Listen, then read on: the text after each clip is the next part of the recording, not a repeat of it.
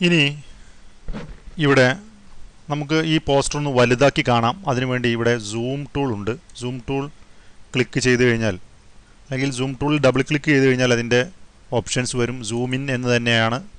Zoom in ആക്കിയതിന് ശേഷം ഇവിടെ ക്ലിക്ക് ചെയ്ത് കഴിഞ്ഞാൽ ഈ പോസ്റ്റർ വലുതായി വരുന്നത് കാണാം. ഇനി ഈ കൈ വളരെ കൃത്യമായ ഒരു ചിത്രത്തിൽ നിന്ന് പകർത്തിയതായതുകൊണ്ട് ചെറുതായി ഇതിനൊരു ബ്ലർ ബ്ലർ എന്ന എഫക്റ്റ് കൊടുക്കുകയാണെങ്കിൽ ഒന്നുകൂടെ ഈ ചിത്രം ഇതിലേക്ക് ലയിച്ച് ചേർന്ന പോലെ നമുക്ക് തോന്നും. ഇതിനു വേണ്ടി ബ്ലർ ചെയ്യുന്നതിന് മുമ്പ് വേണമെങ്കിൽ നമുക്ക് ഇതിന്റെ ബ്രൈറ്റ്നസ് അതുപോലെ കോൺട്രാസ്റ്റ് എന്നിവ മാറ്റം വരുത്താം. ഏതിനെയാണോ ബ്രോ ബ്രോ ബ്രൈറ്റ്നസ്റ്റും കോൺട്രാസ്റ്റും വ്യത്യാസപ്പെടുത്തേണ്ടത് അത് നമ്മളിവിടെ ആ ലെയർ സെലക്ട് ചെയ്തു. ഒരു സെലക്ഷൻ ടൂൾ ഉപയോഗിച്ചുകൊണ്ട് ഈ ഭാഗം ഞാനിങ്ങനെ സെലക്ട് ചെയ്യുന്നു.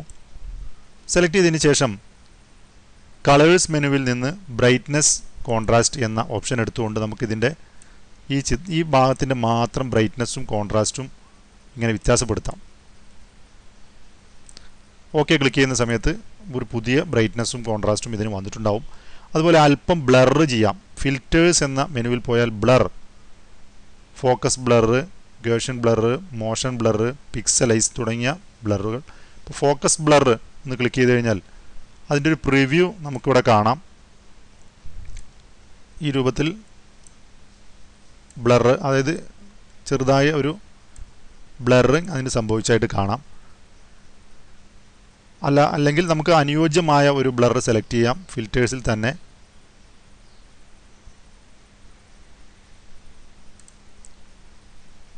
ഇതിന്റെ ബ്ലറിന്റെ അളവ് കൂട്ടുകയും കുറക്കുകയും ചെയ്ത് ഓക്കെ ക്ലിക്ക് ചെയ്യുന്ന സമയത്ത് ഇതൊന്ന് ചെറുതായി അതിന്റെ ഒരു ബ്ലറ് സംഭവിച്ചിട്ടുണ്ടാവും.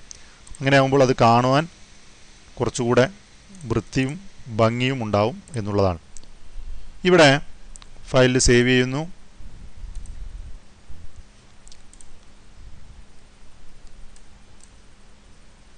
നിങ്ങളും ഇതൊന്ന് ഇതിന്റെ സെലക്ഷൻ ഒഴിവാക്കുന്നതിന് വേണ്ടി സെലക്റ്റിൽ നൺ ക്ലിക്ക് ചെയ്ത് കഴിഞ്ഞാൽ ഇതിന്റെ സെലക്ഷൻ ഒഴിവാവും. അതുപോലെ സൂം ഇൻ സൂം ഔട്ട് ആക്കുന്നതിന് വേണ്ടി ഇതിൽ ഡബിൾ ക്ലിക്ക് ചെയ്തതിന് ശേഷം സൂം ഔട്ട് ക്ലിക്ക് ചെയ്ത് നമ്മൾ നേരത്തെ കണ്ടിരുന്ന പോലെ ഈ പോസ്റ്ററിനെ ഇങ്ങനെ കൊണ്ടുവരാം. ഇപ്പോൾ ഒരുപാട് ലെയറുകളുള്ള ഒരു പോസ്റ്ററായി ഇത് മാറിയിട്ടുണ്ട്. നമുക്ക് ഏതെങ്കിലും ഭാഗം ഇതിൽ നിന്ന് ഒഴിവാക്കണമെന്നുണ്ടെങ്കിൽ ജസ്റ്റ് ഈ കണ്ണിലൊന്ന് ക്ലിക്ക് ചെയ്യുക മാത്രം മതി. ഇത് ഏതെങ്കിലും ഭാഗം ഒഴിവാക്കണമെങ്കിൽ ഈ രൂപത്തിൽ നമുക്കിത് ചെയ്യാവുന്നതാണ്.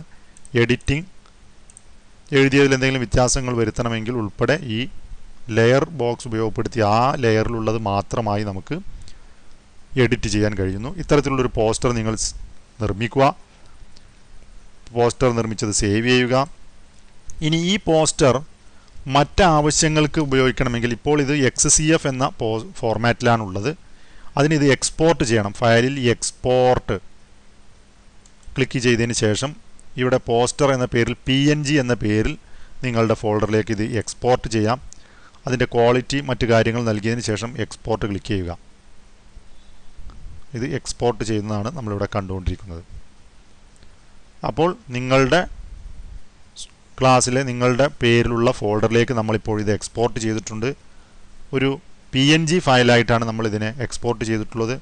അതുകൊണ്ട് തന്നെ അത് നമുക്ക് ഇപ്പോൾ ഏത് ഓപ്പറേറ്റിംഗ് സിസ്റ്റത്തിലും ഉപയോഗിക്കാവുന്ന വിധത്തിൽ അതുപോലെ ഒരു ഈ പോസ്റ്റർ നമ്മൾ ഒരു കടലാസിൽ പ്രിന്റ് ചെയ്യണമെന്നുണ്ടെങ്കിൽ പ്രസ്സിലേക്ക് ഓൺലൈനായിട്ട് മെയിൽ ചെയ്യുന്നതിനൊക്കെ ഇപ്പോൾ ഈ പോസ്റ്റർ റെഡിയാണ്. നമുക്കതൊന്ന് തുറന്നു നോക്കാം. ഹോമിലെ സ്റ്റുഡൻസ് വർക്ക് നയനിലെ നിങ്ങളുടെ ഫോൾഡറിനകത്ത് ഇപ്പോൾ poster dot P N G എന്ന പേരിൽ ഉള്ള ഇത് ആണ് നമ്മളിപ്പോൾ നിർമ്മിച്ച പോസ്റ്റർ.